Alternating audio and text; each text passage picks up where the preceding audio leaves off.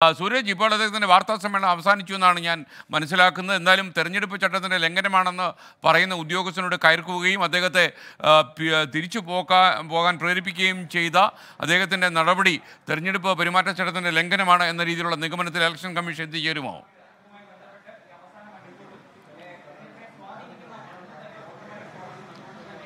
S K നാടകീയമായ രംഗങ്ങളായിരുന്നു ഈ വാർത്താ സമ്മേളനത്തിൽ ഉടനീളം കണ്ടത്. അത് തന്നെയായിരുന്നു രാവിലെ മുതൽ തന്നെ ഈ സംഭവങ്ങളിലെല്ലാം നമ്മൾ കണ്ടത് ഒരു നാടകീയതയായിരുന്നു. അതായത് ഇന്നലെ രാത്രിയോടുകൂടിയാണ് അൻവർ ഇത്തരത്തിലൊരു വാർത്താ സമ്മേളനം സംബന്ധിച്ചുള്ള അറിയിപ്പ് ഈ മാധ്യമപ്രവർത്തകരുടെ ഗ്രൂപ്പിൽ പങ്കുവെക്കുന്നത്. പിന്നീട് ഇന്ന് രാവിലെ പോലീസിന്റെ രഹസ്യാന്വേഷണ വിഭാഗത്തിന് ഇത് സംബന്ധിച്ചുള്ള വിവരം ലഭിക്കുന്നു. അങ്ങനെയാണ് ഒൻപത് മണിയോടുകൂടി ഞാനിപ്പോൾ നിൽക്കുന്ന ഈ അരമര ഹോട്ടലിലെത്തി പോലീസ് ഹോട്ടൽ അധികൃതരോട് ഈ വാർത്താ സമ്മേളനം അനുവദിക്കരുത് എന്നൊരു നിർദ്ദേശം നൽകുന്നു. അപ്പോൾ അൻവറിന്റെ ഈ വാർത്താ സമ്മേളനം ഓർഗനൈസ് ചെയ്യുന്ന സംഘാടകരടക്കം അൻവറിനൊപ്പം പ്രവർത്തിക്കുന്ന ഈ പാർട്ടി പ്രവർത്തകരടക്കം ഞാനിപ്പോൾ നിൽക്കുന്ന ഈ അരമര ഹോട്ടലിലുണ്ടായിരുന്നു. അവരും പോലീസും തമ്മിൽ ഒരു വാക്കുതർക്കം ആദ്യഘട്ടത്തിൽ ഉണ്ടാകുന്നു ആ സമയത്ത് ഈ അൻവറിന്റെ സഹായികളായിട്ടുള്ള ആളുകൾ അൻവറിനെ ഫോണിൽ ബന്ധപ്പെടുന്നു.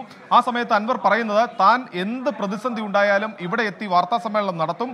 ആർക്കും അത് തടയാൻ കഴിയില്ല എന്ന് അൻവർ പ്രഖ്യാപിക്കുന്നു. പിന്നീടാണ് അൻവർ ഈ കാറിൽ ഇങ്ങോട്ടേക്ക് എത്തുന്നത്. അൻവർ ഈ വാർത്താ സമ്മേളനത്തിൽ നിന്ന് പിന്മാറുന്നില്ല എന്ന പോലീസിന് വിവരം ലഭിച്ചതോടുകൂടി തന്നെ ഇലക്ഷൻ കമ്മീഷന്റെ ഒരു സ്ക്വാഡ് ഇങ്ങോട്ടേക്ക് എത്തി ഹോട്ടൽ അധികൃതർക്ക് ഒരു നോട്ടീസ് കൈമാറാനുള്ള തീരുമാനമെടുക്കുന്നു. അങ്ങനെ ഈ നോട്ടീസുമായി ഇലക്ഷൻ കമ്മീഷന്റെ ആളുകൾ ഇങ്ങോട്ടേക്ക് എത്തുന്നു എന്ന വിവരം നമുക്ക് ഉൾപ്പെടെ ലഭിക്കുന്നു. അങ്ങനെ നമ്മൾ ആ വാർത്ത ബ്രേക്ക് ചെയ്യുകയാണ്. ആ ഇലക്ഷൻ കമ്മീഷന്റെ ആളുകളെ കാത്തു നിൽക്കുന്നതിനിടയിലാണ് അൻവറിന്റെ രംഗപ്രവേശനം. അൻവർ ഇങ്ങോട്ടേക്ക് കാറിലെത്തുന്നു തൊട്ടു പിന്നാലെ ഇലക്ഷൻ സ്ക്വാഡും എത്തുന്നു. പക്ഷേ അവർക്ക് ഈ ഹോട്ടൽ അധികൃതർക്കോ അല്ലെങ്കിൽ അൻവറിന് ഒരു നോട്ടീസോ ഒന്നും തന്നെ നൽകാൻ കഴിഞ്ഞില്ല. അതിനുള്ളിൽ തന്നെ അൻവർ ഈ ഹോട്ടലിലേക്ക് എത്തുകയും പിന്നാലെ അദ്ദേഹം ഈ പ്രസ് കോൺഫറൻസ് നടക്കുന്ന ഹോളിലേക്ക് കയറുകയും ചെയ്തു. ഇവിടെ ഒന്നാമത്തെ നിലയിലായിരുന്നു പ്രസ് കോൺഫറൻസ് ഉണ്ടായിരുന്നത്. ആ കോൺഫറൻസ് ഹാളിലേക്ക് അൻവർ കയറി ഈ വാർത്താ സമ്മേളനം തുടങ്ങി. ഇതോടുകൂടിയാണ് എക്സിക്യൂട്ടീവ് മജിസ്ട്രേറ്റ് ആയിട്ടുള്ള വിവേക് ഇവിടെ എത്തുന്നത് അദ്ദേഹം ഈ വാർത്താ സമ്മേളനം തടസ്സപ്പെടുത്തിക്കൊണ്ട് തന്നെ അൻവറിന് നോട്ടീസ് നൽകുന്നു. ഈ നോട്ടീസ് നൽകാൻ വേണ്ടി വിവേക് എത്തി. അൻവറിന് അടുത്തെത്തുമ്പോൾ പോലും ഈ അൻവർ വാർത്താ സമ്മേളനം അവസാനിപ്പിക്കുന്നില്ല. കൃത്യമായി പോലീസിന്റെ എസ്കോട്ടോട് കൂടിയൊക്കെയാണ് വിവേക് എത്തുന്നത്. അപ്പോൾ ഇലക്ഷൻ കമ്മീഷന്റെ ഉത്തരവാദിത്തപ്പെട്ട ഉദ്യോഗസ്ഥനാണ് ഈ വിവേക് എന്ന് മനസ്സിലാക്കിയിട്ടും അൻവർ വാർത്താ സമ്മേളനം പോലും അവസാനിപ്പിക്കാനുള്ള ഒരു മര്യാദ പോലും കാണിച്ചില്ല എന്നുള്ളതാണ് അൻവർ ഈ വാർത്താ സമ്മേളനം തുടരുന്നു. ഇതിനിടയിലാണ് അൻവറിന്റെ വാർത്താ സമ്മേളനത്തിൽ ഇടപെട്ടുകൊണ്ട് വിവേക് ഈ നോട്ടീസ് കൈമാറുന്നത്. ഇത് പ്രകാരം ഈ ടെലികാസ്റ്റിംഗ് ഇലക്ഷൻ ടെലികാസ്റ്റിംഗ് അനുവദനീയമല്ല. ഈ നാൽപ്പത്തിയെട്ട് മണിക്കൂറിനുള്ളിൽ വോട്ടെടുപ്പിന് നാൽപ്പത്തിയെട്ട് മണിക്കൂറിനുള്ളിൽ ഈ ഇലക്ഷൻ ടെലികാസ്റ്റിംഗ് അനുവദിക്കാൻ കഴിയില്ല എന്നുള്ളതാണ് ചട്ടം. ഈ ചട്ടം അൻവർ ലംഘിച്ചിരിക്കുന്നു എന്ന് കാണിച്ച് രേഖാമൂലം തന്നെ ഒരു കത്ത് നൽകുന്നു. ആ കത്തിന്റെ പകർപ്പടക്കം നമ്മളിപ്പോൾ ലഭ്യമാക്കിയിട്ടുണ്ട്. അൻവർ നൽകിയ നോട്ടീസിന്റെ പകർപ്പടക്കം അടക്കം നമ്മൾ ലഭ്യമാക്കിയിട്ടുണ്ട്. അതിൽ പറയുന്നത് ഇതാണ്. ചട്ടം ലംഘിച്ചു. കൃത്യമായ തെരഞ്ഞെടുപ്പ് ചട്ടലംഘനമാണ്. അതുകൊണ്ട് താങ്കൾ ഈ വാർത്താ സമ്മേളനം ഇവിടെ അവസാനിപ്പിക്കണം എന്നുള്ളതായിരുന്നു ഇലക്ഷൻ കമ്മീഷന്റെ നിലപാട്. പക്ഷേ അൻവർ ഈ ഉദ്യോഗസ്ഥനോടടക്കം കയർക്കുന്നു. വളരെ മോശമായ രീതിയിൽ ഈ ഉദ്യോഗസ്ഥനോട് പെരുമാറുന്നു.